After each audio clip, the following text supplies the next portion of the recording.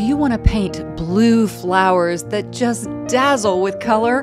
Well, join me in this lesson where I will teach you my technique that's a surprisingly easy way to get those luscious blue and purple flowers that jump right off your painting surface. Here I'm showing some of the different blues and purples that I like to use to create blue flowers, whether they're delphiniums, plumbago, blue violets, purple and blue pansies, or even something like blueberries. These are different brands of pastels, obviously. Most of the rectangular ones are Terry Ludwig's, some of the round ones are Sennelier, Mount Vision, and if you're a patron of mine on my Patreon page, you will get extended footage at the end of this video where I'll talk about some of these brands and the ones I recommend to get these colors. And talk about dazzling blues. Check out this reference image from unsplash.com from Aravand Ready Tarugo. I'll have a link to this in the description of this video. I have some wonderful lemon ginger tea and it's time to get started. Many people ask how I stick my iPad to my board like this. Well, it's just the cover that I flap over the back. It makes it very convenient. This is a homemade board that I made. I do have a video on how to make your own surface like this. Taped to my board, I have an 8 by 10 sheet of Lux Archival Professional Sanded Pastel Paper. I love this surface for many reasons. The white of the paper really allows for luminous color, especially with the underpainting technique I'll be sharing.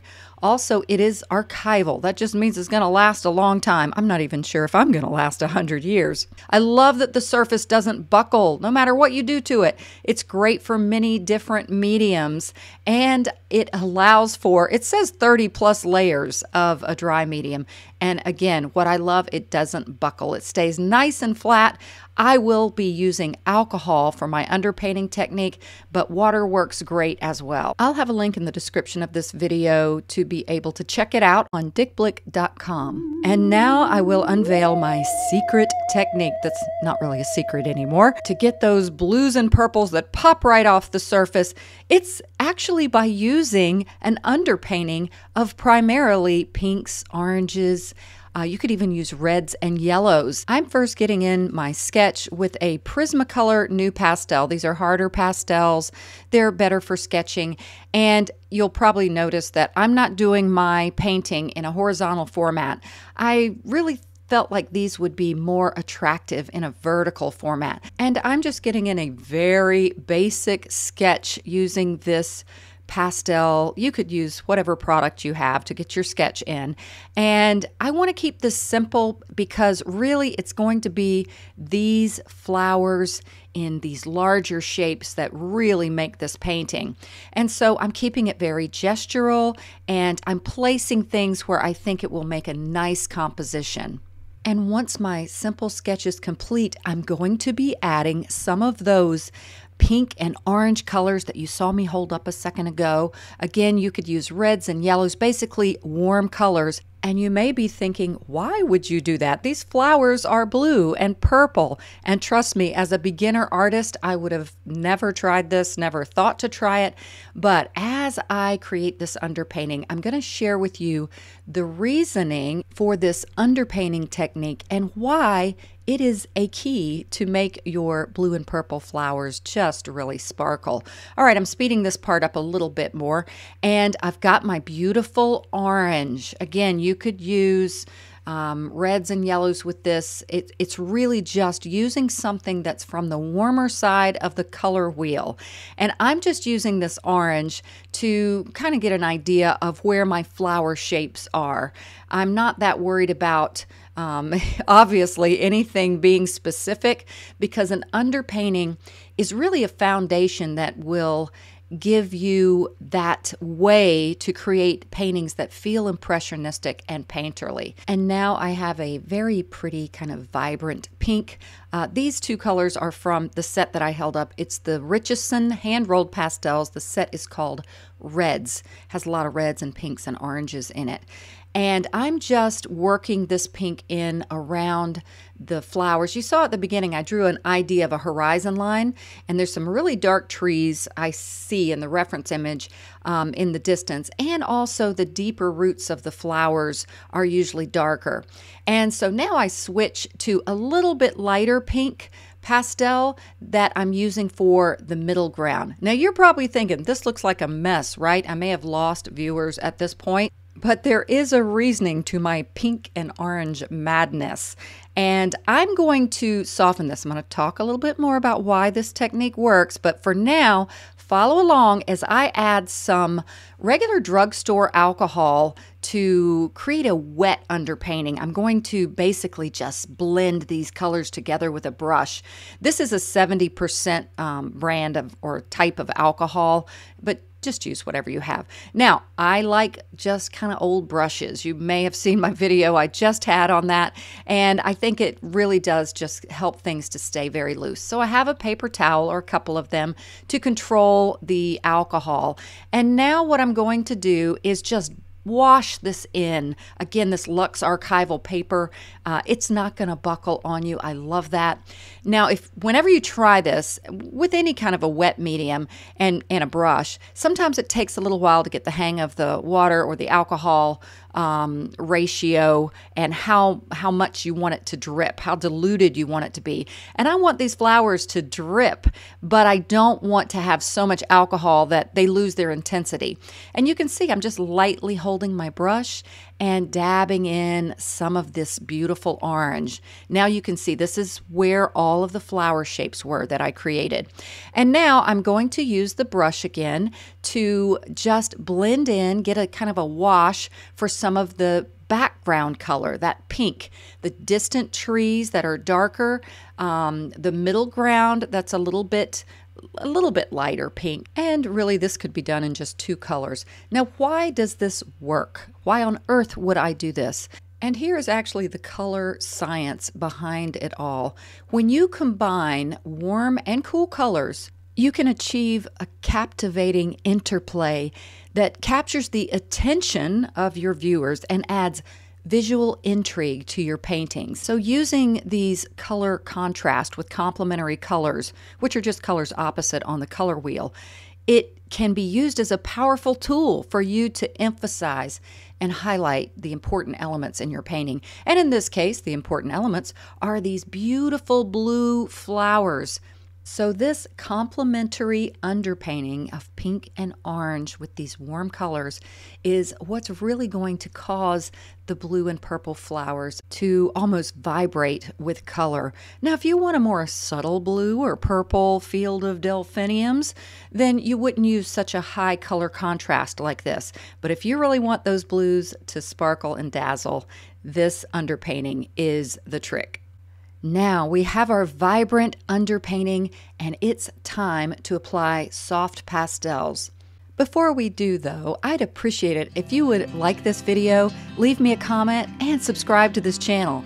And if you want the extra content I'm always talking about, and to support this channel, would you consider becoming a patron of mine? You get behind the scenes content, extra instruction, and you get to become part of my beautiful community of artists, and I get to see your work all for only $5 a month. As a recap, the blues and purples and lavenders that I'm using is a combination of different brands of pastels.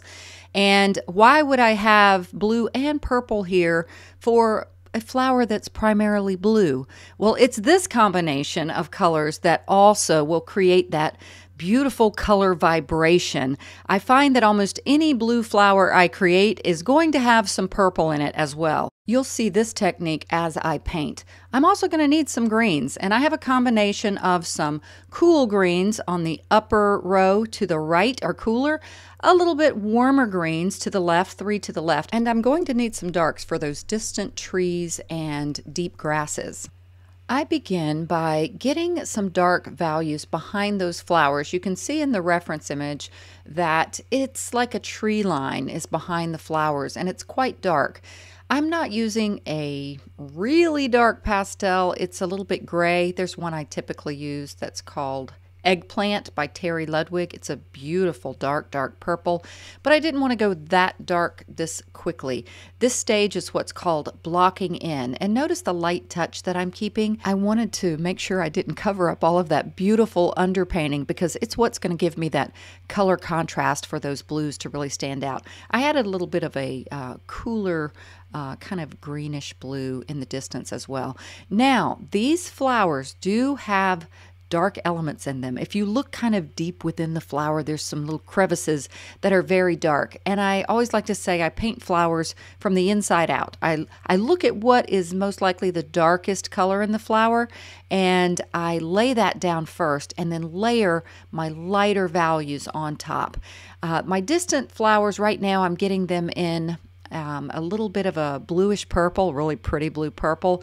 And I will give those a little bit of darkness too, but right now I want to keep them a little different than my focal point flower. Now I'm just using a paper towel here. I blended in the background first and then I blended in the flowers. The reason I did that is there was still a lot of space uh, showing through and I wanted to soften things up. But still, you can see the influence of that underpainting vibrating through these colors. Now, the Lux Archival, it did kind of come off more than I anticipated, so I kind of had to uh, reinforce my darks. And I'm going to be adding my light source to the upper right of the scene. So I'm getting in some cool greens just on the sides of some of those trees. And now I'm getting in a really pretty dark purple for this flower. Again, some of it rubbed off with that paper towel more than I anticipated.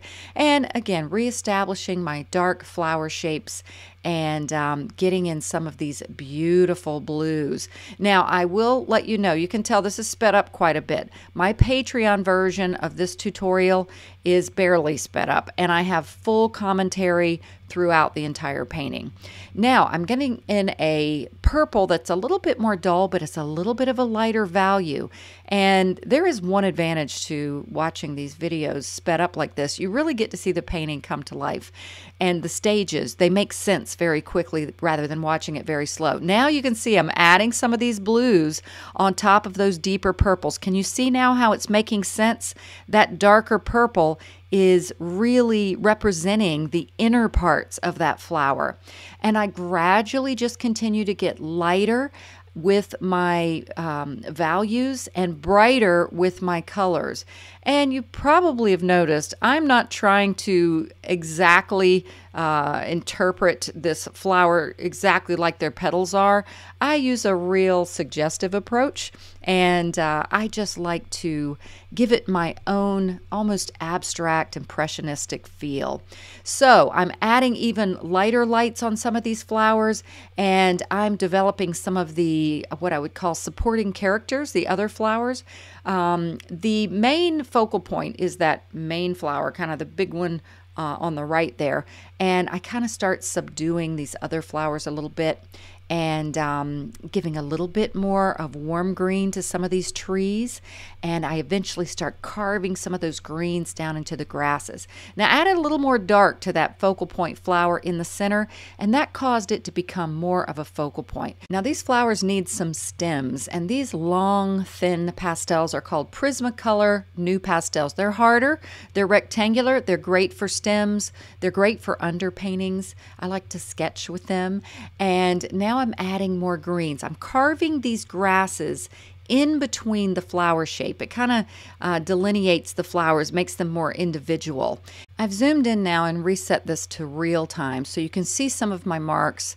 Um, I'm using this pastel to give more shape to some of these flowers. With this type of flower, it's like there's a stalk and then there's like a bouquet of individual flowers attached around it, almost in a spiral.